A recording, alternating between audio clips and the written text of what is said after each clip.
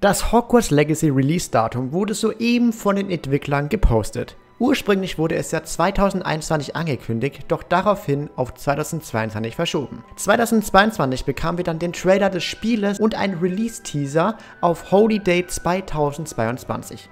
Doch vor wenigen Minuten bekamen wir ein neues Datum von den offiziellen Entwicklern von Hogwarts Legacy und zwar 10. Februar 2023. Ja moin, da wird meine Schwester einfach 17 Jahre, what the fuck.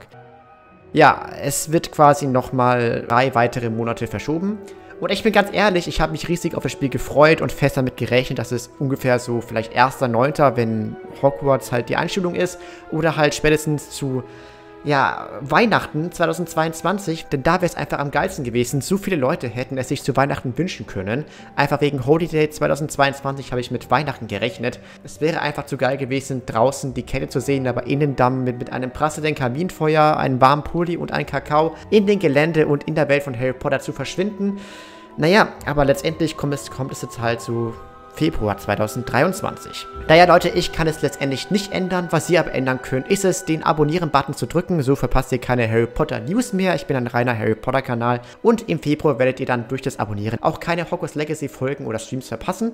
Ich werde das Game auf jeden Fall ganz durchspielen, also falls man es irgendwie durchspielen kann. Und ja, Leute, bleibt gesund und passt vor bösen Greifern und Todessern draußen in der bösen Welt auf. Bis bald und ciao!